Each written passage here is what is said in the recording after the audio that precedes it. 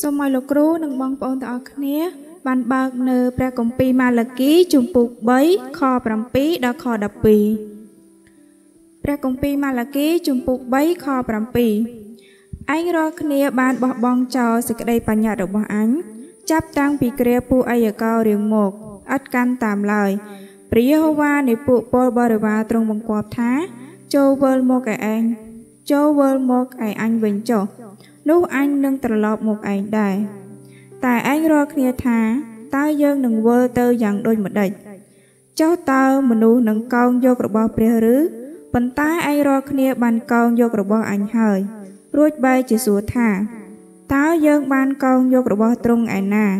គឺក្នុងដង្វាយ1ភាគក្នុង10ហើយក្នុងដង្វាយលើកចុះឡើងនោះឯងឯងរាល់គ្នា គឺមនុស្សនៅនគរនេះទាំងមូល ត្រូវបណ្ដាសាហើយ ដោយព្រោះតែងតែកោងយករបស់អញយ៉ាងដូចនេះចូលនាំយកដង្វាយ1ភាគក្នុង10ទាំងអស់មកដាក់ក្នុងឃ្លាំងចុះដើម្បីឲ្យមានស្បៀងអាហារនៅក្នុងដំណាក់នៃអញហើយលបងលោអញឥឡូវបើអញមិនបើកទ្វារស្ថានសួគ៌ដើម្បីចាក់ព្រះពរមកលើឯងដែលនឹងគ្មានកន្លែងលំមទុកបានទេនេះហើយជាព្រះបន្ទូលរបស់ព្រះយេហូវ៉ានៃពួកពលបរិវារដូច្នេះ ដោយយល់ដល់ឯរាល់គ្នា នោះអញនឹងបន្ទោសដល់សត្វដែលស៊ីបង្ខូចមិនឲ្យវាបំផ្លាញផលដែលកើតពីដីឯងឡើយឯដើមទំពាំងបជូរនៅចំការរបស់ឯងក៏មិនជំរុះផ្លែពីការនៅក្តាប់ដែរនេះហើយជាព្រះបន្ទូលរបស់ព្រះយេហូវ៉ានៃពួកពលបរិវារយ៉ាងនោះគ្រប់ទាំងសាសនឹងថាឯងរាល់គ្នាមានពរត្បិតស្រុករបស់ឯងរាល់គ្នានឹងបានជាស្រុកសប្បាយណាស់ នេះជាព្រះបន្ទូលរបស់ព្រះយេហូវ៉ានៃពួកពលបរិវារអេមែនបិតាដែលជាព្រះ ដែលគង់ឋានសួគ៌ដ៏ខ្ពស់បំផុតកូនទាំងអស់គ្នាសូមចូលមកទាំងដំកើងព្រះនាមព្រះអង្គហើយទាំងថ្វាយសិរីល្អដល់ព្រះអង្គអរគុណព្រះអង្គសម្រាប់ពេលវេលាដែលទូបង្គំទាំងអស់គ្នាបានចូលមករួមគ្នាថ្វាយបង្គំជាមួយនឹងគ្នានៅថ្ងៃនេះជាពិសេសឱកាសដែលទូបង្គំទាំងអស់គ្នានឹងស្ដាប់រៀនជាមួយគ្នានៅព្រះបន្ទូលព្រះអង្គសូមព្រះបន្ទូលនេះនៅតែជួយសម្រាប់ជីវិតរបស់យើងទាំងអស់គ្នា ឲ្យរស់នៅស្ដាប់បង្គាប់ហើយចោះចូលជាមួយព្រះបន្ទូលព្រះអង្គរស់នៅជាជីវិតដែលមានពរតាមរយៈព្រះបន្ទូលដែលព្រះអង្គនៃព្រះបង្រៀនទូបង្គំទាំងអស់គ្នាជាប្រចាំថ្ងៃផងដែរគុណអរគុណព្រះអង្គសូមថ្វាយព្រះបន្ទូលហើយនឹងសិក្សាជាមួយគ្នានៅពេលនេះនៅក្នុងព្រះនាមព្រះអង្គម្ចាស់ព្រះយេស៊ូវគ្រីស្ទអេមែនអេមែនអេមែនសូមជំរាបសួរលោកគ្រូអ្នកគ្រូបងប្អូនទាំងគ្នានៅក្នុងសេចក្តីស្រឡាញ់នៃព្រះអង្គម្ចាស់ព្រះយេស៊ូវគ្រីស្ទសូមបងប្អូនទាំងគ្នាបានប្រកបដោយព្រះគុណនិងសេចក្តីសុខសាន្តអំពីព្រះអង្គម្ចាស់ យេស៊ូវគ្រីស្ទហើយនិងអំពីព្រះដ៏ជាព្រះបិតានៃយើងទាំងអស់គ្នាអរគុណព្រះអង្គនៅថ្ងៃនេះបងប្អូនទាំងគ្នាបានឮអំពីព្រះបន្ទូលរបស់ផងព្រះអង្គជាមួយនឹងគ្នាហើយដែលយើងទាំងអស់គ្នានឹងសិក្សានៅថ្ងៃនេះជាមួយនឹងគ្នាឥ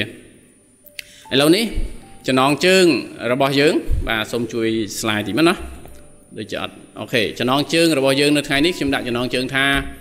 ព្រះពរនៃការថ្វាយបាទព្រះពរនៃការថ្វាយ បាទយើងនឹងសិក្សាហើយយើងស្វែងយល់ជាមួយគ្នាអំពីមេរៀននៅថ្ងៃនេះជាមួយនឹងគ្នាបានជាប្រហែលជាបងប្អូនមួយចំនួនឆ្ងល់ថាហេតុអីបានជាយើងថ្ងៃនេះមកសិក្សានៅមេរៀននៅចំណងជើងនេះទៅវិញណាបើសិនជាបងប្អូនអរគ្នាមើលជាមួយគ្នាយើងតែងតែសិក្សាអំពីតួអង្គបាទមិនអញ្ចឹងទេចូលពីតួអង្គមួយទៅតួអង្គមួយ យើងបន្តសិក្សាជាមួយគ្នារហូតប៉ុន្តែថ្ងៃនេះយើងស្រាប់តែយើងចូលជាមួយនឹង មេរៀនតកតងប្រពោនៃការថ្វាយទៅវិញណាប្រហែលជាបងប្អូនមួយចំនួនក៏ឆ្ងល់ប៉ុន្តែបងប្អូនអរគ្នាអឺកាលពីសប្តាហ៍ទី10យើងបានចោះបាទមួយសប្តាហ៍ក្នុងការដែលលើកយកមកប្រធានបទមួយ ដែលអត់តកតងជាមួយតួអង្គដែរបងប្អូនចាំទេតកតងជាមួយនឹងអីគេការជួបព្រះជាប្រចាំថ្ងៃនេះឯងគឺជាអ្វីដែលយើងឃើញនៅក្នុងគោល ការឬចលនាកូនជៀមដែលយើងឃើញជាមួយគ្នាមានប្រមាណចំណុចទាំងអស់8ចំណុចបាទអញ្ចឹងចំណុចទី1គឺតកតងជាមួយការជួបជាមួយព្រះប្រចាំថ្ងៃអញ្ចឹងយើងរៀនជាមួយគ្នាអំពីការមួយសំខាន់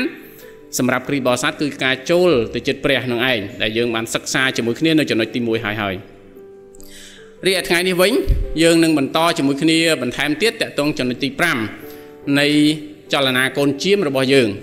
ដែលមួយឆ្នាំនេះខ្ញុំនឹងចោះ យកចំណុចសំខាន់សំខាន់ហើយយើងនឹងចារណាយើងសិក្សាជាមួយគ្នាដែលចំណុចនេះតកតងជាមួយនឹងការថ្វាយដង្វាយ10ហូត1បាទនឹងដង្វាយដតីផ្សេងទៀតរៀងរាល់ខែនៅក្នុងចលនាកូនជាមនៅចំណុចទី5នឹងឯងណាយើងនឹងសិក្សាជាមួយគ្នា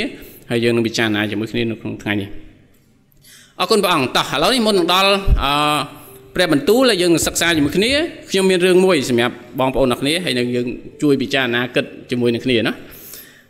អឺមានបរិះ2នាក់គាត់បានលេចទូកនៅកណ្ដាលសមុទ្របាទគាត់លេចទូកនៅកណ្ដាលសមុទ្រហើយរួចមកគាត់ក៏បានជាប់ទៅនៅលើកោះមួយបាទនៅលើកោះហើយគាត់ចេញតាណារួចទេក្រោយមក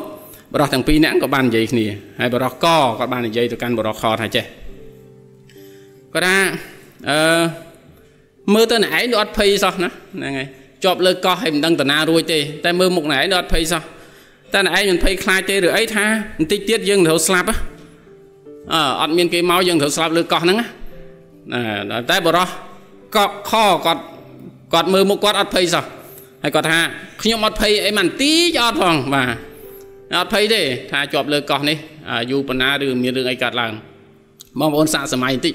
មូលហេតុអីបានគាត់អត់ភ័យសោះយ៉ាងហេតុអីបានគាត់អត់ភ័យខ្លាចថាគាត់នឹងស្លាប់នៅលើកោះនេះមូលហេតុអី បាទប្រហែលបងប្អូនមានចម្លើយរៀងរៀងខ្លួនเนาะហ្នឹងហើយប៉ុន្តែចម្លើយមួយដែលគាត់ថាគាត់ថាចេះគាត់ថាដឹងទេថាខ្ញុំរាល់ថ្ងៃជាពិសេសរាល់សប្តាហ៍ខ្ញុំសំលុយបានរាប់ម៉ឺនដុល្លារបាទរាប់ម៉ឺនដុល្លារក្នុងមួយសប្តាហ៍ណាលើពីនោះទៅទៀតនោះគឺខ្ញុំបានថ្វាយដង្វាយ10ហុតមួយបាទអត់ដែលខានទេអញ្ចឹងខ្ញុំថ្វាយដង្វាយ10ហុតមួយអត់ដែលខានទេអញ្ចឹងទេកុំភ័យគ្រូងវាលខ្ញុំនឹងតាមរកខ្ញុំមកដល់កោះនេះក៏តាមរកខ្ញុំដែរ បាទ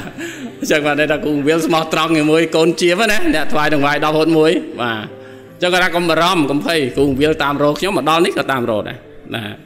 បងប្អូនអរគុណនេះគឺជារឿងដែលយើងឃើញតែកំ pl ែងទេប៉ុន្តែប្រហែលជាមែនតែនបែបអញ្ចឹងដែរណោះបាទអញ្ចឹងអ្នកណាដែលថ្វាយនឹងវាយ11បែបគ្រូវិលតែចាំឈ្មោះអដ្ឋានឲ្យរហូតប្រហែលដែរបាទអរគុណព្រះអង្គ បន្តមកវិញអំពីមេរៀនរបស់យើងថ្ងៃនេះព្រះពរនៃការថ្វាយបាទព្រះពរនៃការថ្វាយអំពីម៉ាឡាគីជំពូក3ខ7ដល់ខទី12ដែលយើងនឹងសិក្សាជាមួយនឹងគ្នាមែនតើតកតងជាមួយការថ្វាយបងប្អូនអរគ្នាការថ្វាយយើងមានរូបភាពច្រើនតកតងការថ្វាយមិនចឹងទេយើងអាចថ្វាយជាចំណេះដឹងយើងអាចថ្វាយជាពេលវេលាយើងអាចថ្វាយជាអំណោយទានរបស់យើងទៅកាន់ព្រះបាទយើងមានរូបភាពច្រើនដែលយើងថ្វាយទៅកាន់ព្រះ ប៉ុន្តែក្នុងចំណោមការថ្វាយទាំងអស់នោះមេរៀនយើងនៅថ្ងៃនេះតកតងជាមួយនឹងលុយបាទឬក៏ប្រកាសឬក៏ទ្រព្យសម្បត្តិយើងនឹងថ្វាយយើងនឹងយល់ជាមួយគ្នាអំពីតកតងជាមួយពាក្យថាថ្វាយនេះឯងខ្ញុំជឿថាប្រធានបទតាក់ទងជាមួយលុយមិនមែនជាប្រធានបទមួយដែលយើងទាំងអស់គ្នាចូលចិត្តនឹងស្ដាប់ប្រហែលទេណាជាទូទៅណាឲ្យតែលឺលុយមកអាយ៉ាលោកគ្រូអីទៀតហើយណាលើកមកទៀតណាបាទ ក្នុងចេតនាឬក៏អ្វីដែលខ្ញុំលើកមកអំពីប្រធានបទមួយនេះយើងមាន plan ឬក៏រៀបចំគម្រោងជាប្រចាំឆ្នាំយើងមានហើយហើយមិនមែននឹកឃើញលើកប្រធានបទនេះមកទេបាទយើងមានគម្រោងហើយហើយហើយនៅប្រធានបទនេះខ្ញុំក៏មិនមែនចែកចាយដើម្បីឲ្យបងប្អូនអរគ្នាមានអារម្មណ៍ថា guilty មានអារម្មណ៍ថាដូចជាពិបាកទទួលឬក៏មានអារម្មណ៍ថាអត់ល្អឬក៏មានអារម្មណ៍ថាដូចជាខ្លួនឯងមិនល្អមិនត្រឹមត្រូវចំពោះព្រះខ្ញុំអត់មានចេតនាក្នុងការដែល លើកអំពីការទាំងអស់ហ្នឹងទេប៉ុន្តែអ្វីដែលជាចេតនាគឺជាព្រះបន្ទូលព្រះដែលខ្ញុំចង់ឲ្យបងប្អូនអរនេះផ្ដោតសំខាន់ទៅលើព្រះបន្ទូលព្រះបើសិនជាព្រះអង្គសពហាតីនឹងមានបន្ទូលមកកាន់យើងតាមរយៈព្រះបន្ទូលថ្ងៃនេះសូមយើងទាំងអស់គ្នាបានយកចិត្តយើងស្ដាប់ហើយនឹងពិចារណាហើយនឹងឆ្លើយតបជាមួយព្រះបន្ទូលព្រះអង្គនៅថ្ងៃនេះជាមួយនឹងគ្នានេះគឺជាគោលបំណងសំខាន់សូមបានធ្វើទៅតាមអ្វីដែលព្រះបន្ទូលព្រះអង្គសពហាតីបាទជាជាងមានអារម្មណ៍ អត់ល្អឬក៏មានអារម្មណ៍អត់សុបាយជាមួយនឹងប្រធានបទនៅថ្ងៃនេះតោះអញ្ចឹងយើងនឹងសិក្សាជាមួយគ្នានៅក្នុង3ចំណុចសំខាន់សំខាន់នៅក្នុងមេរៀនយើងនៅថ្ងៃនេះទី1តកតងជាមួយនឹងការថ្វាយទី2តកតងជាមួយនឹង1ភាគក្នុង10ហើយនឹងទី3តកតងជាមួយព្រះពរ3ចំណុចនេះយើងនឹងសិក្សាជាមួយគ្នានៅក្នុងចំណងជើងនៃមេរៀនរបស់យើងនៅថ្ងៃនេះតោះយើងបន្តជាមួយគ្នានៅក្នុងចំណុចទី1តកតងការថ្វាយបងប្អូនអរគ្នាការថ្វាយ ថវិកាការថ្វាយទ្រព្យសម្បត្តិការថ្វាយលុយរបស់យើង បាទមានការយល់ខុសជាច្រើនតាក់ទងជាមួយនឹងថវិកាឬក៏ប្រកាសខ្ញុំជឿថាពេលខ្លះមិនមែនតែមិនមែនតែគ្រីបរិស័ទទេគ្រីបរិស័ទក៏យល់ខុសដែរអំពីការថ្វាយមួយនេះតាក់ទងលុយកាក់របស់យើងហេតុអីតាមសភៅរបស់អឺពួកជំនុំឬក៏សាលាជីវិតព្រះយេស៊ូវបានលើកអំពីចំណុចមួយចំនួនដែលបងប្អូនអរគ្នាអាចពិចារណាជាមួយគ្នាតាក់ទងជាមួយនឹងការយល់ខុសអំពីការប្រើប្រាស់លុយឬក៏ប្រាក់កាសរបស់យើង ទី1អ្នកខ្លះក៏គាត់គិតគាត់គិតថាចេះប្រកាសដែលខ្ញុំរកបាននេះជារបស់ខ្ញុំណាចឹងប្រកាសគឺជារបស់ខ្ញុំប៉ុន្តែបងប្អូនអាចមើលនៅក្នុងទំនុកអង្កើងពុកទី24ខ1បានប្រាប់យើងថាគ្រប់របស់ទាំងអស់ជារបស់ព្រះមិនមែនជារបស់យើងទេសូម្បីតែជីវិតរបស់យើងក៏ជារបស់ព្រះដែរចឹងអ្វីអ្វីដែលយើងមាននៅលើផែនដីនេះជារបស់ព្រះ ព្រះគឺជាម្ចាស់យើងគ្រាន់តែជាអ្នកដែលទុកដាក់ប៉ុណ្ណឹង មើលការខុសត្រូវប៉ុណ្ណឹងឬអង់គ្លេសថា we are the managers but God is our owner ណាចឹងកន្លែងនេះបងប្អូនអាចនឹងឆ្លុះបញ្ចាំងជាមួយគ្នាថាយើងគ្រាន់តែទុកដាក់លុយកាក់យើងប៉ុណ្ណឹងឯងប៉ុន្តែព្រះគឺជាម្ចាស់ពិតប្រាកដនេះទំនុកអង្កើងបានចែងប្រាប់យើងឲ្យឃើញអំពីថាភាពជាម្ចាស់ពិតប្រាកដមិនមែនជាយើងទេគឺជាព្រះចឹងហើយបានជាពេលខ្លះយើងពិបាកក្នុងការដែលឲ្យណាឬក៏ចំណាយដោយសារអីតកតងជាមួយលុយកាក់យើងថាជារបស់យើងជាកម្មសិទ្ធិរបស់យើង ចំណុចទី2អ្នកខ្លះគាត់គាត់គិតថាប្រកាសជួយឲ្យខ្ញុំរស់នៅដោយគ្មានព្រះបានអញ្ចឹងពេលខ្ញុំមានបានច្រើនមិនបាច់ចាំពឹងព្រះហេមិនបាច់ចាំត្រូវការព្រះហេព្រះណាក៏មិនអីដែរណាពេលខ្លះប្រើព្រះទៀតណាក៏មានដែរនៅពេលមានលុយច្រើនប៉ុន្តែនៅក្នុងលូកាចំពុក12ខ13ដល់ខទី21នេះខ្ញុំអត់អានជូនទេបងប្អូនអាចបើកមើលខ្លួនឯងណាអាចណូតទុកឬ short screen អាចមើលខ្លួនឯងបាននៅលូកាប្រាប់យើងថាព្រះថាបើសិនជាអ្នកមាននឹងមានទ្រព្យសម្បត្តិច្រើនយ៉ាងណាក៏ដោយ ប៉ុន្តែបើសិនជាថ្ងៃហ្នឹងព្រះអង្គដកព្រលឹងរបស់គេទៅវិញ្ញាណរបស់គេទៅតើគេសល់អីបាទគេនឹងបាត់អ្វីៗទាំងអស់អញ្ចឹងទ្រព្យសម្បត្តិដែលគេមាននឹងឯងគ្រាន់តែជារបស់ដែលនៅលើផែនដីហ្នឹងมันអាចទៅជាមួយគេនៅពេលស្លាប់ទេអញ្ចឹងព្រះអង្គថាព្រះអង្គគឺជាម្ចាស់នៃព្រលឹងវិញ្ញាណនៃជីវិតបាទអញ្ចឹងទេមើលទៅលកាន់ព្រះបាទគឺជារឿងធំជាងទ្រព្យសម្បត្តិរបស់យើងនេះគឺជាចំណុចទី2ចំណុចទី3អ្នកខ្លះគាត់គិតថាចេះ ប្រកាសអាចផ្ដល់ឲ្យខ្ញុំនៅស្ថិរភាពសុវត្ថិភាពនិងសុភមង្គលបាទគាត់ថាប្រកាសអាចផ្ដល់ការទាំងអស់ហ្នឹងស្ថិរភាពក្នុងការរស់នៅបាទសុភមង្គលអីគេសុវត្ថិភាពរបស់ខ្ញុំបានប៉ុន្តែតាមរយៈសាសនាចំពុក5ខ13ដល់ខ14នឹងប្រាប់យើងថាបើសិនបើសិនជាថ្ងៃហ្នឹងដែលអ្នកមានមានទ្រព្យសម្បត្តិមហាសាលយ៉ាងណាក៏ដោយប៉ុន្តែបើសិនជាគ្រោះបានមកដល់ក្នុងពេលវេលាហ្នឹងទ្រព្យសម្បត្តិគេនឹងបាត់ទៅតែមួយព្រិចភ្លេចប៉ុណ្្នឹងឯង នៅសម័យនៅសម័យប៉ុលពតអ្នកមានគេកំពុងរស់នៅស្រួលកងតាក់ខ្លាអត់ខ្វល់ខ្វាយអីសោះគ្រាន់តែសម័យប៉ុលពតមកដល់ជំលះទៅតាមស្រុកភូមិអស់រលីងហើយគេរស់នៅយ៉ាងលំបាកវេទនាអញ្ចឹងទេទ្រព្យសម្បត្តិប្រកាសមិនអាចធានានៅស្ថិរភាពសុវត្ថិភាពនិងសុភមង្គលរបស់យើងបានទេអ្នកខ្លះគាត់ថាមានលុយច្រើននោះឯងសុភមង្គលរបស់ខ្ញុំមិនប្រកាសទេបងប្អូនអរគ្នាហានិភ័យច្រើនណាស់យើងឃើញសម័យបច្ចុប្បន្នណា ហ្នឹងហើយអ្នកដែលមានលុយច្រើនអ្នកដែលមានគ្រោះថ្នាក់ក៏កាន់តែច្រើនដែរមិនអញ្ចឹងមានករណីប្លន់មានករណីអីច្រើនណាមួយរយៈនេះដែលយើងស្ដាប់ព័ត៌មានជាមួយគ្នាអញ្ចឹងសូមចងចាំយើងទាំងអស់គ្នាដែលជាអ្នកជឿព្រះអង្គយើងត្រូវដឹងថាប្រកាសមិនមែនជាស្ថិរភាព ជាសវត្ថភាព ជាសុភមង្គលពិតប្រកបសម្រាប់ខ្ញុំទេ ព្រះគឺជាស្ថិរភាពសវត្ថភាពនិងសុភមង្គលរបស់ខ្ញុំដ៏ពិតប្រាកដចំណុចមួយទៀតអ្នកខ្លះគាត់ថា ខ្ញុំជោគជ័យកំណត់ទៅលើទ្រព្យសម្បត្តិគាត់ថាជីវិតជោគជ័យនៅពេលដែលមានទ្រព្យសម្បត្តិច្រើននោះឯងគឺខ្ញុំជោគជ័យបាទគេកំណត់ភាពជោគជ័យរបស់ខ្លួនស្ថិតទៅលើទ្រព្យសម្បត្តិអញ្ចឹងហើយបានជារឿងរ៉ាវផ្សេងផ្សេងគ្រួសារបញ្ហាផ្សេងផ្សេងគេអត់សូវជាខ្វល់ខ្វាយប្រហែលទេប៉ុន្តែគេខ្វល់ខ្វាយទៅរឹកដេញតាមលុយទោះបីជាពេលខ្លះកូនអត់ស្ដាប់បង្កឪពុកម្ដាយទោះបីជាពេលខ្លះគ្រួសារមានតំណែងតំណងបែកបាក់គ្នាលេងលះគ្នាក៏ដោយគេអត់ខ្វល់ខ្វាយទេពួកគេគិតថាម៉េចលុយគឺជាទី1សម្រាប់ជីវិតរបស់ពួកគេបាទ អញ្ចឹងគេគិតថា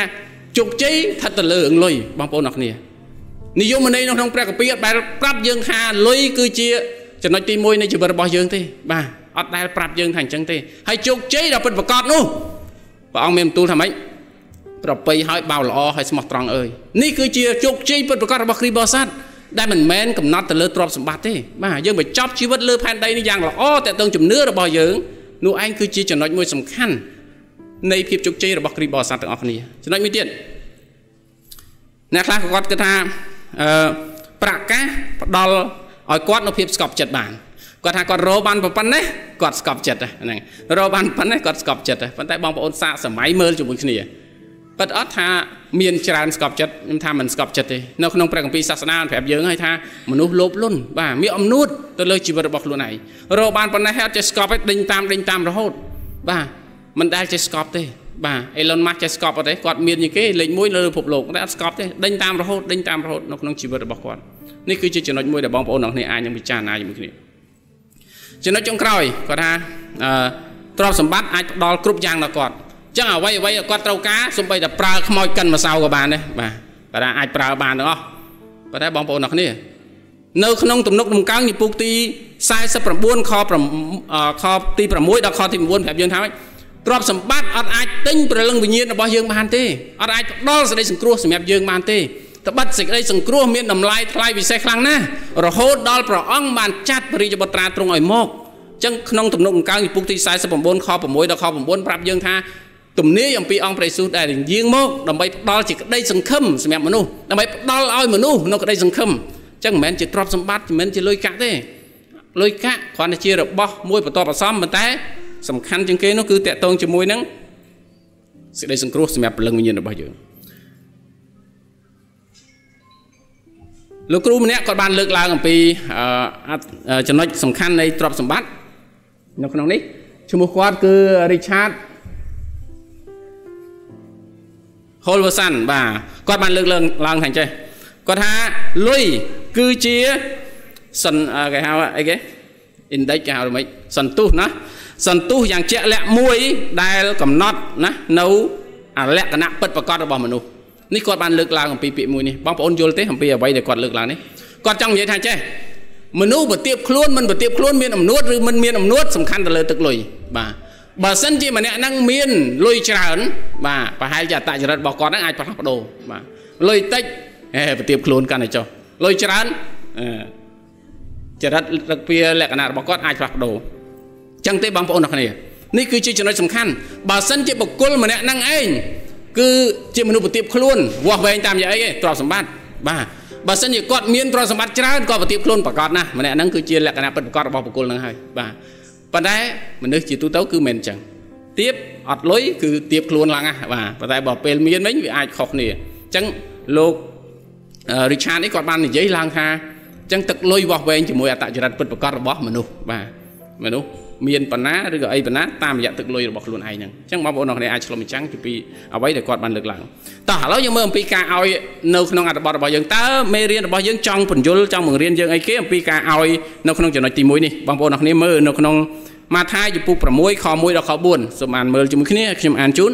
អាចបើកមើលជាមួយខ្ញុំឬក៏អាចផ្ទៀងជាមួយខ្ញុំក៏បានម៉ាថាយចំពុកទី6ខ1ដល់ខ4ខ្ញុំអានជូនចូលប្រយ័ត្នកុំឲ្យអ្នករាល់គ្នាធ្វើទៀននៅមុខមនុស្ស ឲ្យតែគេឃើញនោះឡើយបើធ្វើដូច្នោះនោះអ្នករាល់គ្នានឹងគ្មានរង្វាន់នៅនឹងព្រះបិតានៃអ្នកដែលគង់ដែលទ្រង់គង់នៅស្ថានសួគ៌នោះទេដូច្នេះកាលណាអ្នកធ្វើទៀននោះកុំឲ្យផ្លុំត្រែនៅមុខអ្នកដូចជាពួកដែលមានមានពុតដែលគេដែលប្រព្រឹត្តនៅក្នុងសាលាប្រជុំហើយតាមផ្លូវដើម្បីឲ្យបានមនុស្សលោកសរសើរខ្លួននោះឡើយខ្ញុំប្រាប់អ្នករាល់គ្នាជាប្រកាសថា គេបានរង្វាន់គេហើយប៉ុន្តែ កាលណាអ្នកធ្វើទៀននោះកុំឲ្យដៃឆ្វេងអឺដឹងការដែលដៃស្ដាំធ្វើឡើយដើម្បីឲ្យអំពើទៀនរបស់អ្នកបានស្ងាត់កំបាំងនោះព្រះបិតានៃអ្នកដែលទ្រង់តតឃើញក្នុងទីសម្ងាត់ទ្រង់នឹងប្រទានរង្វាន់ដល់អ្នកនៅទីប្រជែកច្បាស់នៅក្នុងម៉ាថាយពុក6ខ1ដល់ខ4នេះបង្រៀនយើងអំពីរបៀបដែលយើងឲ្យទៅដល់គេរបៀបដែលយើងថ្វាយរបៀបដែលយើងធ្វើទៀនទៅដល់អ្នកដតី របៀបនោះគឺម៉េចធ្វើដោយលាក់កំបាំងធ្វើកុំឲ្យបង្ហាញដល់គេធ្វើកុំឲ្យបង្អួតទៅដល់អ្នកដតីបងប្អូនអរគ្នារូបភាពហេតុអីបានជាម៉ាថាយឬក៏ព្រះយេស៊ូវបានបង្រៀនអំពីរបៀបនៃការធ្វើទៀនបែបនេះដោយសារអីដោយសារតែសម័យមុននឹងឯងសម័យដែលព្រះយេស៊ូវកំពុងតែមានបន្ទូលនឹងឯង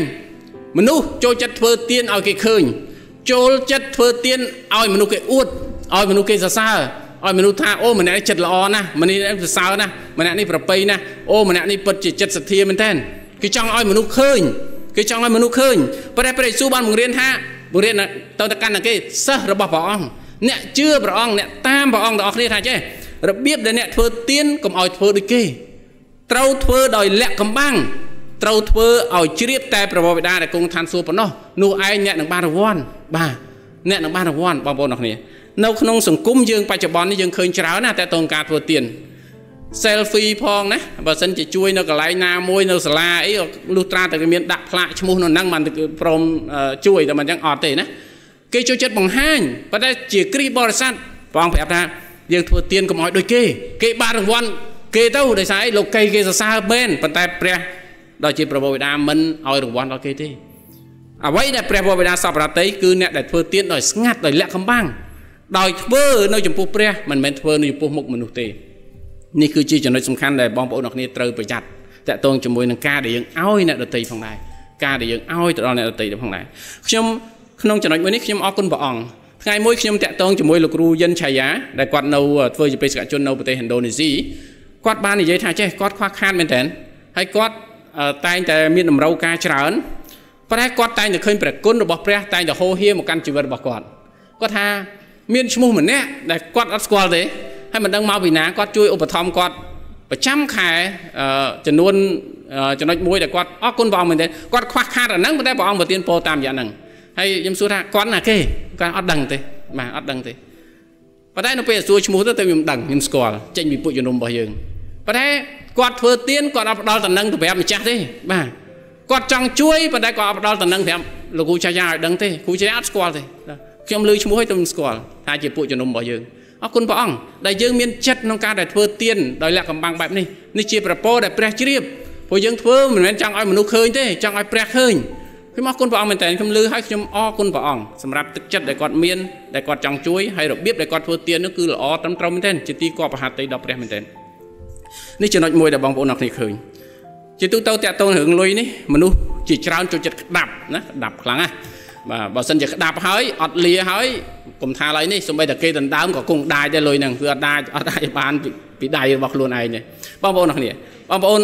សាកក្តាប់ដៃឲ្យបានកន្លះម៉ោងនេះបងក្តាប់ឲ្យខ្លាំងក្តាប់ឲ្យខ្លាំងបាទកន្លះម៉ោងបានអត់មើលទៅក្តាប់ឲ្យខ្លាំងកុំដាប់ទៅចេះដាប់ទៅចេះគេហូតបានណាក្តាប់ចេះក្តាប់ឲ្យណែនខ្លាំងបងប្អូនសាកក្តាប់បាន1ម៉ោងអត់ទេ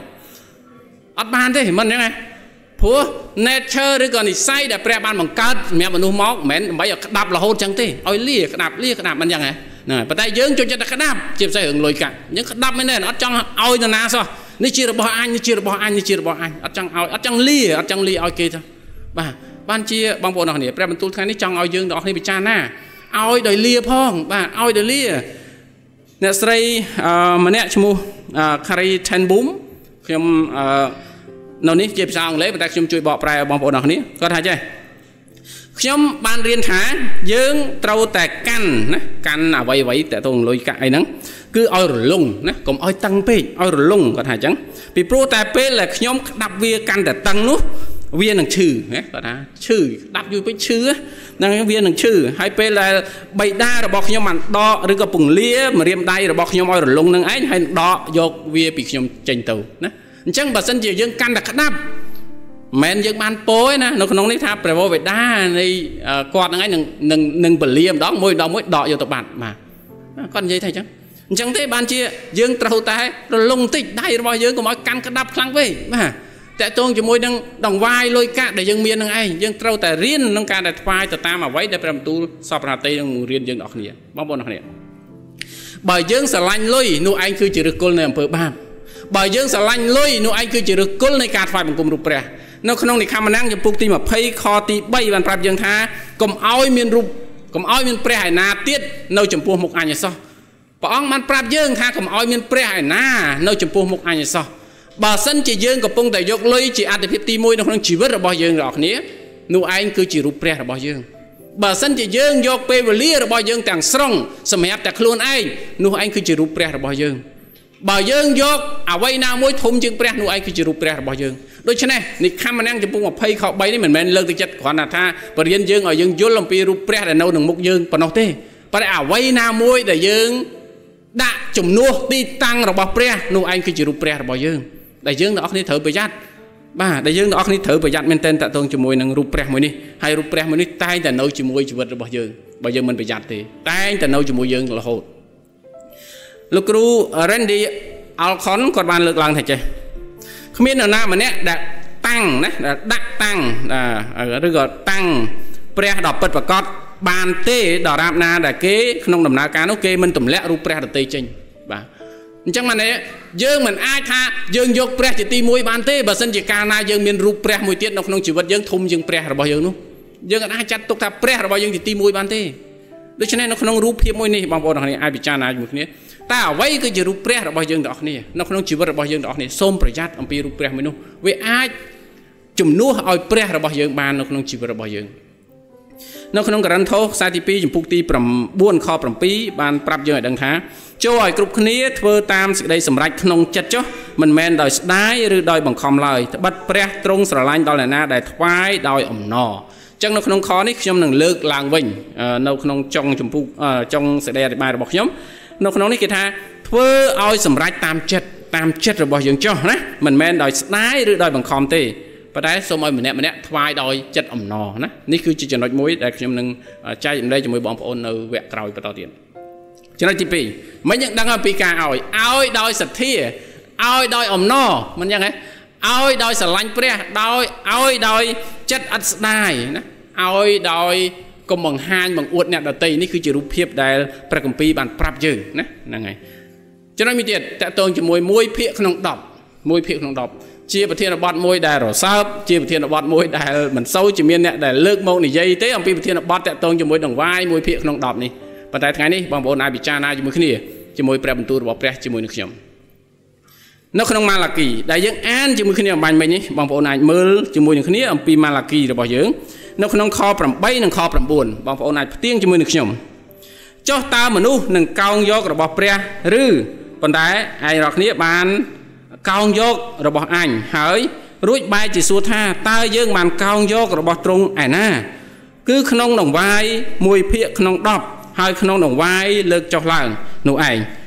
ឯងរាល់គ្នាគឺជាមនុស្សនៅនគរនេះទាំងមូលត្រូវបណ្ដាសាហើយ ដោយព្រោះតែងតែកោងយករបស់អញដូច្នោះ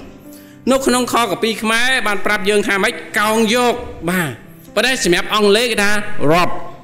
rob នោះមកប្លន់បងប្អូន robber បានអ្នកប្លន់ចៅប្លន់អញ្ចឹងបើអង្គថាកោងយកនៅក្នុងនេះបានយើងកំពុងតែប្លន់ពាក្យថាប្លន់ឲ្យលួចខុសគ្នាមិនអញ្ចឹងហ៎លួចលួចដោយគេលួច ស្ងាត់អើអត់ចង់ឲ្យគេឃើញទេបើអាចចូលលេចដើរដើរថ្នមមែនតើប្រែប្លន់អត់ទេភ្ជុងយកហ្មងណាគម្រាមយកតែម្ដងហេតុអីអានព្រះនិយាយឬក៏មានបន្ទូលមកកាន់យើងទាំងអស់គ្នាតាក់ទងជាមួយនឹងកោងយកបែបនេះឬក៏ប្លន់យកបែបនេះដោយសារអីដោយសារតែក្រឹតវិន័យរបស់ព្រះមានហើយប្រាប់គេទាំងអស់គ្នាហើយថាត្រូវថ្វាយត្រូវថ្វាយប៉ុន្តែគេទាំងអស់គ្នាបែរជាមិនអត់ថ្វាយ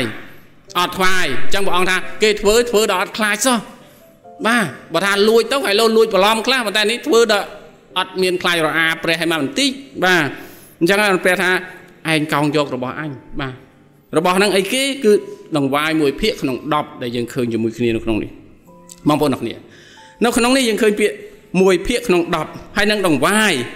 លើកចុះឡើងមួយភាគក្នុង10គឺជាដង្វាយផ្សេងដង្វាយលើកចុះឡើងគឺជាដង្វាយផ្សេងបងប្អូនអ្នកនេះកុំច្រឡំជាមួយគ្នាអ្នកខ្លះក៏ថាមួយភាគក្នុង10ឧទាហរណ៍ថាថ្ងៃនេះខ្ញុំថ្វាយឧ ទាហរណ៍ថាខ្ញុំត្រូវថ្វាយ40ដុល្លារអញ្ចឹង40ដុល្លារហ្នឹងមានប្រហែលសប្តាហ៍អស់ក្នុងមួយខែមានប្រហែលសប្តាហ៍4សប្តាហ៍អញ្ចឹងមួយសប្តាហ៍ថ្វាយប្រហែល10ដុល្លារ10ដុល្លារ10ដុល្លារ40អត់ទេ40ហ្នឹងគឺផ្សេងបាទប៉ុន្តែដង្វាយលើកចុះឡើងដង្វាយដែលយើងហុចទៅដល់បងប្អូនអ្នកគ្នាឬក៏បងប្អូនមកយកថ្វាយជាប្រចាំសប្តាហ៍ផ្សេងអត់ដូចគ្នាទេ នឹងក្នុងខកពីប្រាប់ថានឹងដង្វាយមួយភាគក្នុង10ហើយបាទហើយបានន័យថាភ្ជាប់មួយទៀតរឿងមួយទៀតដូច្នេះបងប្អូនទាំងអស់គ្នាអាចពិចារណាជាមួយគ្នាដង្វាយមួយភាគក្នុង10ទៅកាន់ព្រះហើយនឹងដង្វាយលើកចុះឡើងដង្វាយផ្សេងទៀតដែលយើងអាចថ្វាយទៅកាន់ព្រះនេះគឺជារូបភាពដែលយើងទាំងអស់គ្នាឃើញនៅក្នុងព្រះគម្ពីរដែលចង់បង្រៀនយើងទាំងអស់គ្នាហើយយើងទាំងអស់គ្នាពិចារណាជាមួយគ្នាបងប្អូនទាំងអស់គ្នានៅក្នុងព្រះគម្ពីរ នៅក្នុងព្រះគម្ពីរសញ្ញាចាស់បើសិនជាយើងមើលមិនមែនត្រឹមតែមួយភាគក្នុង10ទេបងប្អូនទាំងគ្នាដង្វាយដែលអ៊ីស្រាអែលថ្វាយទៅកាន់ព្រះមានប្រមាណបាទបងប្អូនទាំងគ្នាអាចពិចារណាជាមួយគ្នានេះអ្វីដែលខ្ញុំលើកមកអំពី God question ហើយខ្ញុំក៏ឆែកអំពីខកពីដែលគេបញ្យលយើងអំពីតកតងដង្វាយនេះដែរដង្វាយដែលអ៊ីស្រាអែលគេធ្វើតាមច្បាប់ដែលព្រះបានកំណត់ឲ្យពួកគេនោះគឺទី1ដង្វាយសម្រាប់ពួកលេវី ដង្វាយសម្រាប់ពួកលេវីហ្នឹងគឺមាន10%ហ្នឹងឯងអញ្ចឹងមួយភាគក្នុង10ហ្នឹងនៅក្នុងរូបភាពសញ្ញាចាស់បងប្អូនអ្នកគ្នាអាននៅក្នុងជនកញ្ញាចំពុក18ទៅឃើញហើយគឺសម្រាប់ពួកលេវីពួកអ្នកដែលត្រូវបានញែកទុកសម្រាប់ការងាររបស់ព្រះបើយើងរាប់សម័យបច្ចុប្បន្នវិញគឺជាគ្រូវិលឬក៏អ្នកដឹកនាំនៅក្នុងពុជនុំនេះគឺជាមួយភាគក្នុង10មួយទៀតនោះគឺដង្វាយប្រើប្រាស់ក្នុងព្រះវិហារបាទមួយមួយទៀតដង្វាយប្រើប្រាស់ក្នុងព្រះវិហារឬក៏សម្រាប់ពិធីបុណ្យ អានេះដង្វាយផ្សេងទៀតនៅក្នុងសម្ពីសញ្ញាចាស់ណាហើយនឹងមួយទៀតនោះគឺអីគេដង្វាយសម្រាប់អ្នកក្រីក្រនៅក្នុងស្រុកដង្វាយទាំង3ប្រភេទហ្នឹងឯងដែលពួកអ៊ីស្រាអែលគេថ្វាយជាប្រចាំបាទទៅកាន់ព្រះហើយទាំងអស់ហ្នឹងសរុបប្រមាណភាគរយ23.3%មិនមែនត្រឹមតែ10%ទេ23.3ប៉ុន្តែម៉ាឡាគីប្រាប់យើងថាដង្វាយ10%បាទលើកតែដង្វាយ10%ទេប៉ុន្តែបើយើងមើលអំពីរូបភាពរួមមិនមែនត្រឹម10%ទេគឺប្រមាណ23.3%ឯណោះ ដែរប៉ុន្តែម៉ាឡាគីបានលើកទឹកចិត្តយើងតែដង្វាយ10%ហើយនឹងដង្វាយស្ម័គ្រពីចិត្តទេដែលយើងថ្វាយទៅកាន់ព្រះអង្គនេះគឺជារូបភាពដែលយើងពិចារណាជាមួយគ្នាបងប្អូនខ្លះប្រហែលជាកំពុងមានសំណួរជាមួយខ្ញុំតាក់ទងជាមួយនឹងអឺបន្តិចទៀតខ្ញុំនឹងបកស្រាយទោះបីជាបងប្អូនមិនទាន់ក្នុងការដែលសួរខ្ញុំនៅឡើយក៏ដោយប៉ុន្តែយើងនឹងពិចារណាជាមួយគ្នានៅក្នុងករិនថូសខ្សែទី1ចំពុកទី16ខ2បងប្អូនអាចពិចារណានៅក្នុងសញ្ញាថ្មីតើព្រះអង្គមានបន្ទូលអីគេមកកាន់យើងតាក់ទងនឹងវាយនេះរាល់តែអាទិត្យក្នុងថ្ងៃដំបូង នោះត្រូវឲ្យអ្នករាល់គ្នាប្រមូលដាក់ទុកនៅអ្វីអ្វីដែលឡែកតាមដែលព្រះបានចម្រើនឲ្យដើម្បីកាលណាខ្ញុំមកដល់នោះមិនចាំបាច់នឹងរៃអង្គាសទៀតនៅក្នុងក្រឹនថុកខ្សែទី1ចំពុក16ខ2បានប្រាប់យើងថាម៉េចដងវាយដែលគេបានញែកទុកបាទញែកទុករាល់អាទិត្យបាទន័យថាអាទិត្យគេញែកទុកម្ដងសម្រាប់អីសម្រាប់ពន្ធកិច្ចសម្រាប់ការងាររបស់ផងព្រះដែលព្រះបានបានធ្វើឬក៏បំរុងនឹងធ្វើតាមរយៈអ្នកដែលបម្រើព្រះអង្គ ប៉ុន្តែយើងអាចកំណត់ចំណាំអំពីពាក្យនៅឃ្លាចុងក្រោយគេថាម៉េចតាមដែលព្រះបានចម្រើនអញ្ចឹងបានន័យថាកាលណាមានទ្រព្យសម្បត្តិច្រើនថ្វាយច្រើនមានទ្រព្យសម្បត្តិប៉ុណ្ណាថ្វាយប៉ុណ្ណឹងបាទអញ្ចឹងមិនសំដៅទៅលើអ្នកមានឬអ្នកក្រទេប៉ុន្តែយើងត្រូវថ្វាយដោយស្មោះត្រង់អ្វីដែលឃើញយើងឃើញនៅក្នុងខកពីនេះឯងយើងពិចារណាអំពីសាច់រឿងមួយនេះខ្ញុំឃើញអំពីលោកលោកគ្រូ Chobi Soriano ណា Soriano គាត់គឺជាគ្រូបង្រៀននៅពួកជំនុំ CCF នៅប្រទេសហ្វីលីពីនដែរហើយខ្ញុំចាំអំពីអ្វីដែលគាត់លើកអំពីរឿងមួយហើយខ្ញុំចាំហើយឥឡូវនេះខ្ញុំលើកមកដើម្បីនឹងបងប្អូនអ្នកគ្នាអាចពិចារណាជាមួយគ្នាគាត់ថាចេះគាត់ថាមានអឺអ្នកមានម្នាក់គាត់ដើរចុះតាមផ្លូវមកគាត់ដើរចុះតាមផ្លូវគាត់ឃើញអ្នកសុំទានម្នាក់បាទអ្នកសុំទានណាហើយក្រោយមកគាត់ឃើញហើយគាត់ក៏បាននិយាយទៅកាន់អ្នកសុំទានថាហេតុអីបានជាអ្នកឯងមកសុំទាននៅទីនេះអញ្ចឹង អូយមកអ្នកសុំទានក៏បានឆ្លើយតបទៅកាន់គាត់ថាថាខ្ញុំមែនតើខ្ញុំជាអ្នកធ្វើការទេមុនដំបូងឡើយប៉ុន្តែក្រោយមកគឺខ្ញុំបានបាត់បង់ការងារហើយខ្ញុំគ្មានញាតិសន្តានមានមិត្តភ័ក្តិណាដើម្បីនឹងបន្តឬក៏រកការងារណាបានទៀតឡើយហើយដល់ជាជំរឿចុងក្រោយគឺខ្ញុំអឺក៏មកធ្វើជាអ្នកសុំទានបែបនេះឯងហើយឥឡូវនេះអស់រយៈពេលច្រើនឆ្នាំហើយនៅពេលដែលគាត់ឃើញអ្នកមានគាត់ស្លៀកពាក់ស្អាតណា គាត់ទាំងអស់តែអ្នកមានមានទ្រព្យសម្បត្តិស្រុកស្ដំខ្លាំងសម្បើមខ្លាំងក្រោយមកគាត់និយាយថាចេះប៉ុន្តែលោកលោកចវាយបើសិនជាលោកចវាយអាចនឹងផ្ដល់ការងារឲ្យខ្ញុំធ្វើបានលោកចវាយខ្ញុំសូមធ្វើជាបាវបំរើឬក៏អ្នកបំរើរបស់លោកចុះបាទខ្ញុំសូមធ្វើជាបាវបំរើរបស់លោកចុះឲ្យតែលោកបានជួយខ្ញុំកុំឲ្យខ្ញុំនៅបន្តសុំទាននៅទីនេះទៀតនៅពេលគាត់និយាយចឹងហើយអ្នកមានទ្រព្យសម្បត្តិសុខស្ដំនេះគាត់ក៏បាននិយាយថាឥឡូវនេះគឺខ្ញុំអឺ នឹកឃើញអំពីការមួយគឺខ្ញុំមិនត្រឹមតែចង់ឲ្យអ្នកធ្វើជាអ្នកបម្រើខ្ញុំទេប៉ុន្តែខ្ញុំចង់ឲ្យអ្នកធ្វើជាដៃគូសហការរកស៊ីជាមួយនឹងខ្ញុំនៅពេលគាត់ឮថាអញ្ចឹងគាត់សប្បាយចិត្តមែនទេគាត់ថាអូលោកដូចជាព្រះដែលមកសង្គ្រោះសង្គ្រោះខ្ញុំអញ្ចឹងហើយខ្ញុំអត់មានទីពឹងអីទេឥឡូវលោកផ្ដល់ឱកាសនេះខ្ញុំសប្បាយចិត្តមែនទេលោកចង់ឲ្យខ្ញុំធ្វើអីក៏ខ្ញុំព្រមដែរដល់គាត់ថាចេះដៃគូសហការនោះ ហើយខ្ញុំនឹងចែកចែកភាកលៀបណាភាករយឲ្យទៅដល់អ្នកយើងចែកប្រាក់ចំណេញឲ្យអ្នកតទៅទៀតឮអញ្ចឹងហើយគាត់រឹតតែសบายចិត្តទៀតគាត់ថាលោកលោកម្ចាស់លោកម្ចាស់អានោះឥឡូវនេះលោកយក90%ទៅខ្ញុំយកតែ10%ទេនៅក្នុងប្រាក់ចំណេញដែលខ្ញុំទទួលបានបាទហើយនឹងឬក៏លោកយក95%ចុះខ្ញុំយកតែ5%តែប៉ុណ្្នឹងឯងក្រៅពីនឹងលោកយកចុះខ្ញុំយកតែ5%ឬ10%ប៉ុណ្្នឹងឯងប៉ុន្តែលោកថាអត់ទេអត់ទេខ្ញុំឲ្យអ្នក90%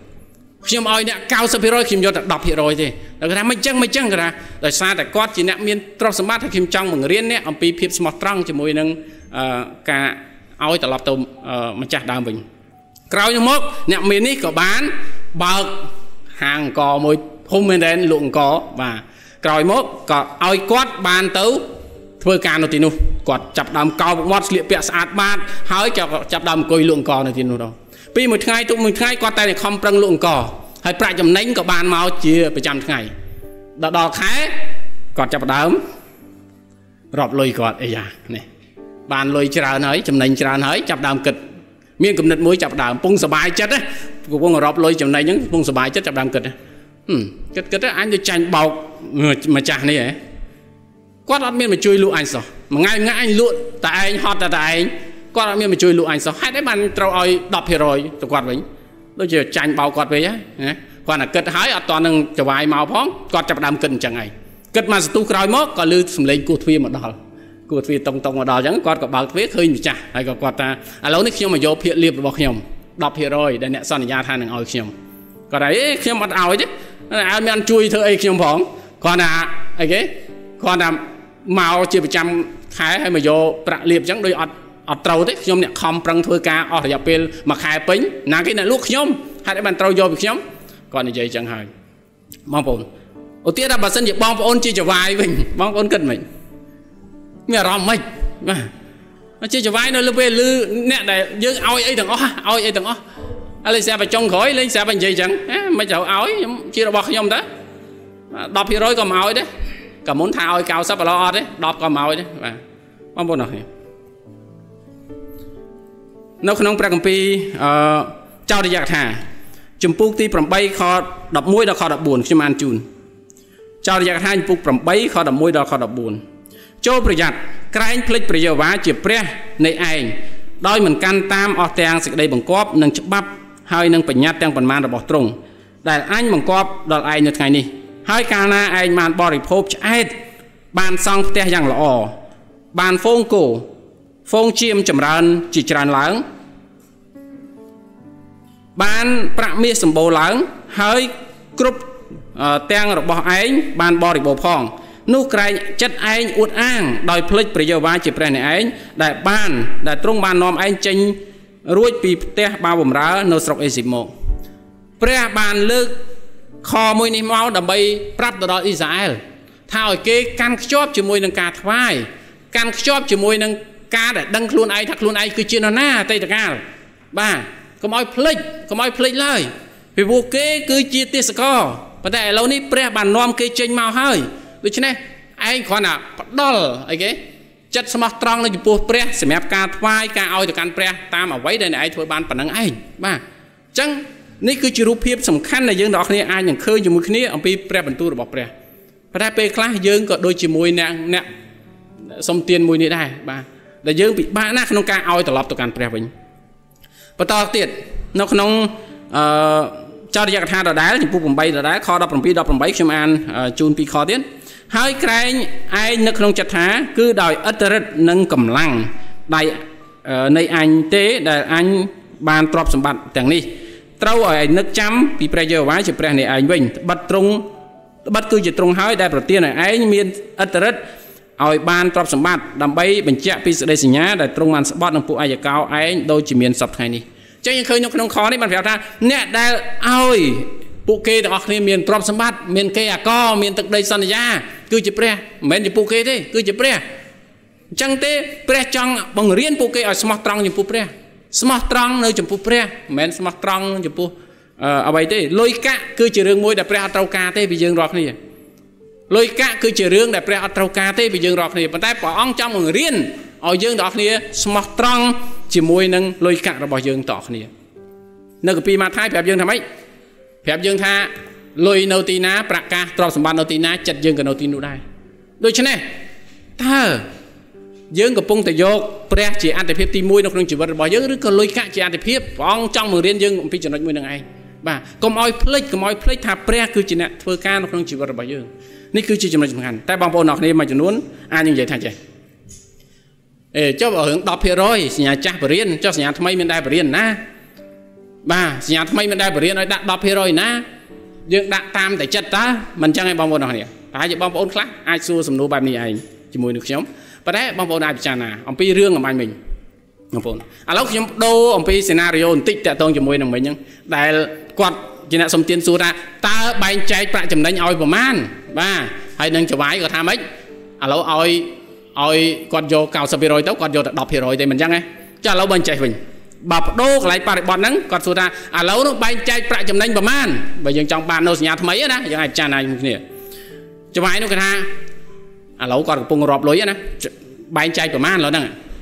ហើយចង្វាយថាចេះឥឡូវនេះខ្ញុំនឹងមិនកំណត់ទេថា នឹងឲ្យខ្ញុំប្រមាណភាគរយប៉ុន្តែឲ្យទៅតាមចិត្តដឹងគុណដែលអ្នកគិតថាគួរនឹងឲ្យត្រឡប់មកខ្ញុំវិញចុះបើសិនជាក្នុងករណីហ្នឹងបងប្អូនអរគ្នាសាកសម័យមើលតើគាត់នឹងឲ្យប៉ុន្មាន10%ខ្ញុំថាប្រហែលជាមិនមែន10%ទេ10%គឺជាចំណុចមួយដែលតូចមែនទែនមិនអញ្ចឹងហ៎បាទបើសម្ពោះនៅអ្វីដែលព្រះបានប្រទានឲ្យឬក៏ចវាយបានប្រទានឲ្យគាត់លើសពី10%ទៅទៀតមិនមែន10%ទេ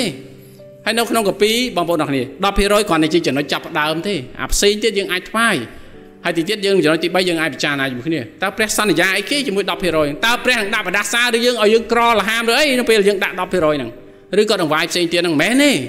មែនរឿងឲ្យយើងក្រលហាមទេប៉ុន្តែព្រះអង្គសន្យាជាមួយប្រពោយ៉ាងអស្ចារ្យយើងបន្តនៅចំណុចទី3ចុងក្រោយប៉ុន្តែបងប្អូនទាំងគ្នាអាចពិចារណាជាមួយគ្នា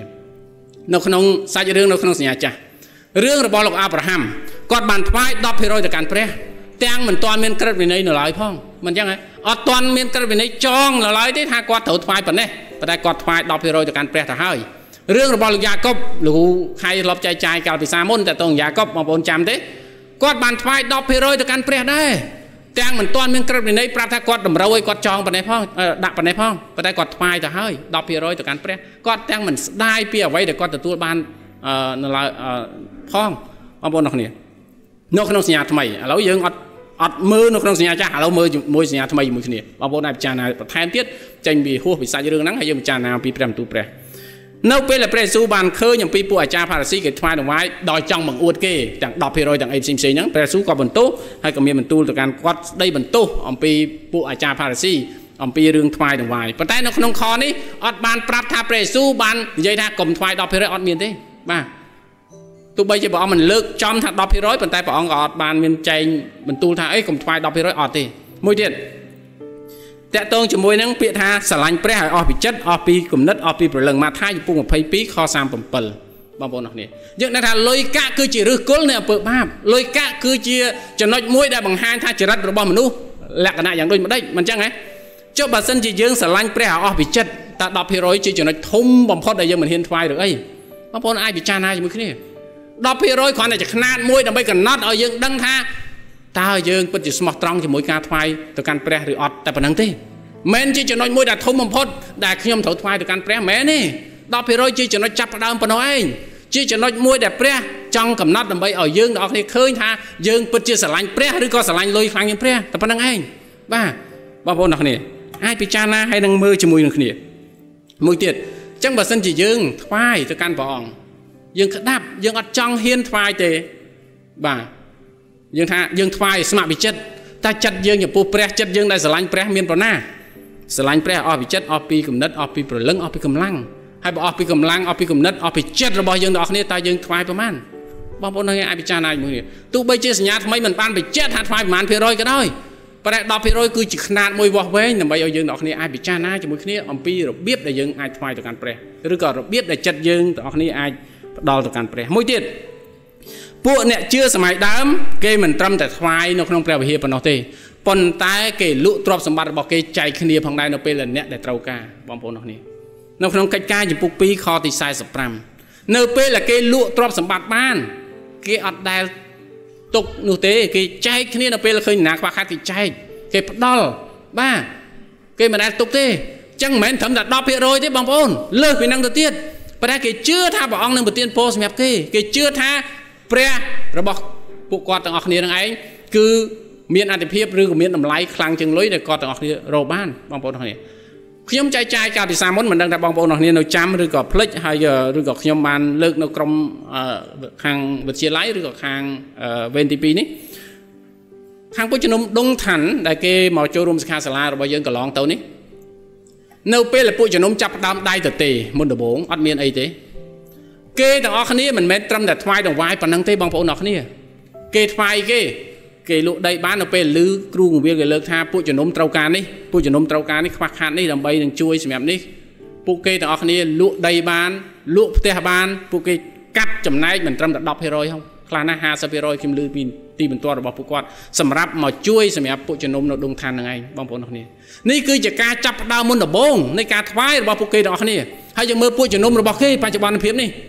គេថ្វាយខ្លាំងមែនទែននៅពេលដែលគេបានប្រពោតាមរយៈការហ្នឹងប្រពោនឹងឯងផ្សាយភាឬក៏ផ្ដល់ទៅឲ្យពន្ធកិច្ចឬក៏តាមរយៈការងារផ្សេងផ្សេងបាន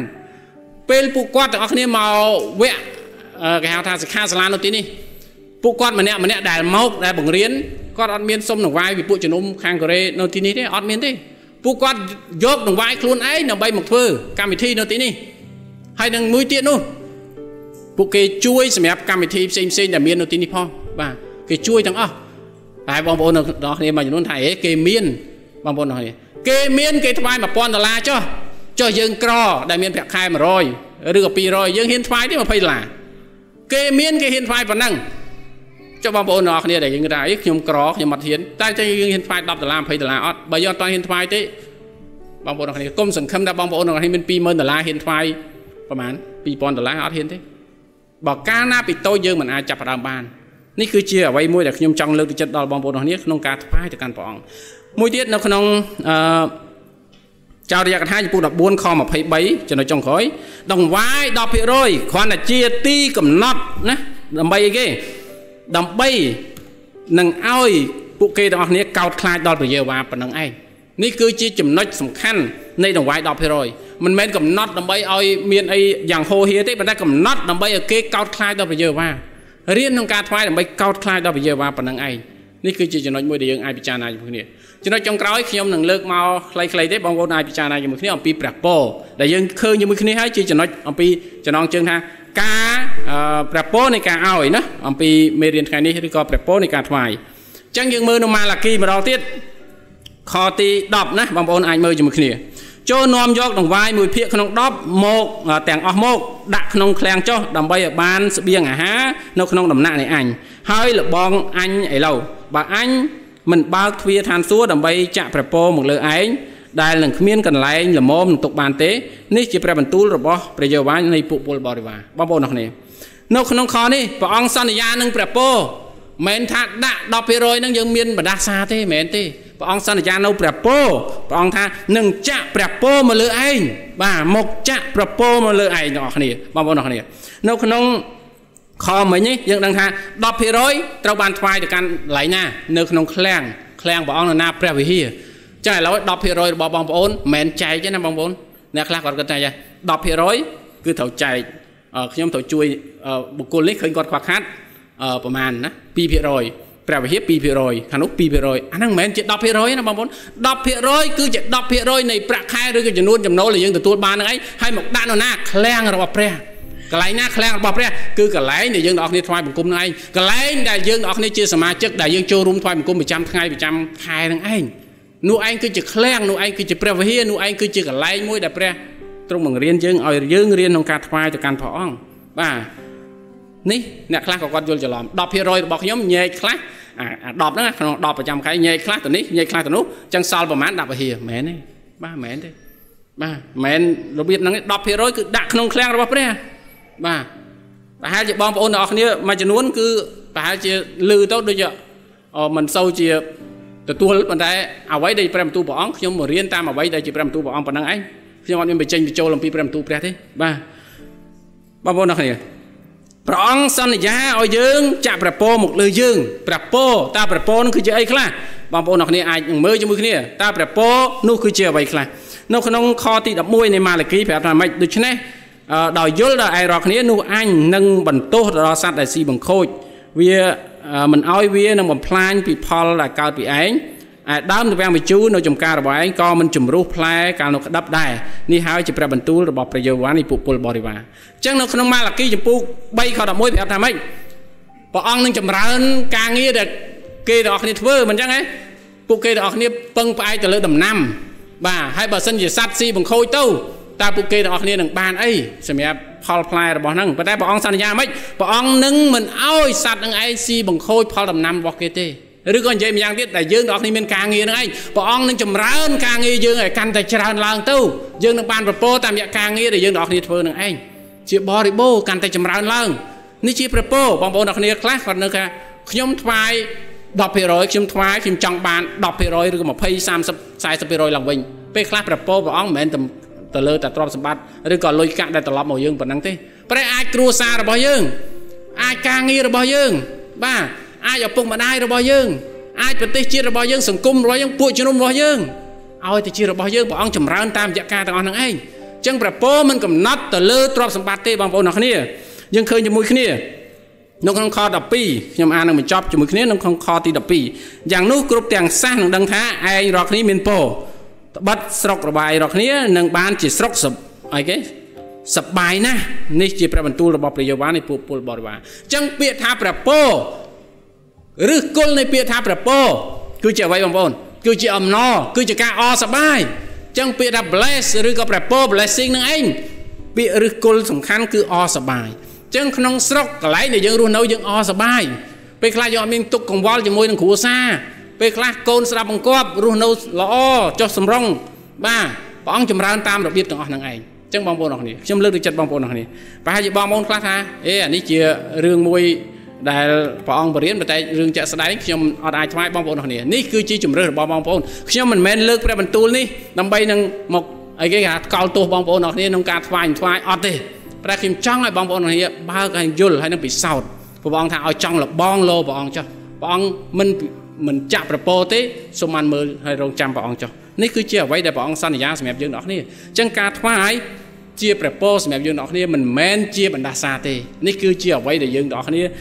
អាចនឹងគិតហើយនឹងពិចារណាជាមួយគ្នាបើសម្រាប់ខ្ញុំផ្ទាល់អឺដោយសារតែយើងអស់ម៉ោងអញ្ចឹងខ្ញុំអត់ចែកចាយពីទីបន្ទាល់នេះច្រើនទេប៉ុន្តែខ្ញុំចង់លើកទឹកចិត្តបងប្អូនទាំងអស់គ្នាថាសម្រាប់ខ្ញុំផ្ទាល់ខ្ញុំពិសោធន៍ជាមួយព្រះពរមកពីព្រះអង្គច្រើនណាស់បងប្អូនទាំងអស់គ្នា ទោះបីជាតិចតួចតាមរយៈណាក៏ដោយប៉ុន្តែខ្ញុំពិសោធន៍ថាព្រះអង្គមិនដែលឲ្យខ្ញុំនឹងឯងវេទនាបាទ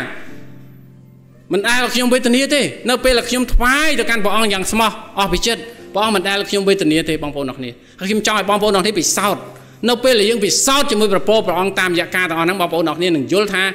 ព្រះបន្ទូលរបស់ព្រះអង្គគឺជារឿងពិតហើយដែលព្រះអង្គនឹងចង់បរៀនយើងគឺឲ្យយើងបានពរមិនមែនជារឿងដែលយើងទទួលបានប្រដាសាទេអញ្ចឹងសូមលើកចិត្តដល់បងប្អូនអរគ្នា ស្ដាប់លើព្រះបន្ទូលហើយអធិដ្ឋាន បាទតើព្រះអង្គចង់បរៀនយើងអីហើយយើងគួរឆ្លើយតបអីនៅក្នុងជីវិតរបស់យើងក្នុងជំនឿរបស់យើងជាគ្រីស្ទបរិស័ទសុភាសិតចំពុក11ខ25មនុស្សដែលមានចិត្តសទ្ធានឹងបានបរិបូរហើយអ្នកណាដែលស្រោចទឹកដល់គេនោះនឹងបានគេស្រោចទឹកឲ្យដល់ខ្លួនផងអធិដ្ឋានបញ្ចប់ជាមួយខ្ញុំបេដាគុណសរសើរដំកើងអរគុណព្រះអង្គសូមទានពរសម្រាប់មេរៀនថ្ងៃនេះ ជួយយើងព្រះអង្គឲ្យរស់នៅក្នុងការដែលស្ដាប់បង្គាប់ព្រះអង្គចោះចូលហើយនឹងជាពិសេសនោះស្មោះត្រង់ជាមួយនឹងអ្វីដែលព្រះអង្គប្រទានឲ្យទោះបីជាអ្វីដែលព្រះអង្គប្រទានឲ្យនោះក្នុងកម្រិតណាមួយក៏ដោយប៉ុន្តែកូនចង់ឆ្លើយតបព្រះបន្ទូលនេះដោយស្ដាប់បង្គាប់ឲ្យចោះចូលហើយថ្វាយរបស់ព្រះអង្គទៅកាន់ព្រះអង្គវិញផងដែរគុណអរគុណសូមឲ្យយើងទាំងអស់គ្នាមានចិត្តក្នុងការថ្វាយទៅកាន់ព្រះអង្គដោយឥតស្ដាយឥតបង្ខំនៅឡើយព្រះអង្គហើយគុណអរគុណគុណសូមថ្វាយនៅក្នុងព្រះនាមព្រះម្ចាស់ព្រះយេស៊ូវគ្រីស្ទអេមែនសូមព្រះប្រទានពរអរគុណច្រើន